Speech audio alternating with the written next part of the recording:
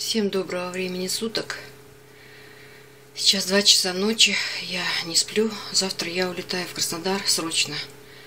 У меня заболела тяжело доча, поэтому надо ехать помогать с малышами, но ее ставить на ноги.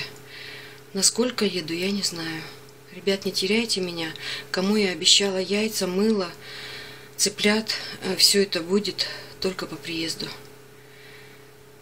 Снимать. Навряд ли там буду что-то Вернее, выкладывать точно не буду, но, может быть, что-то поснимаю, если будет такая возможность.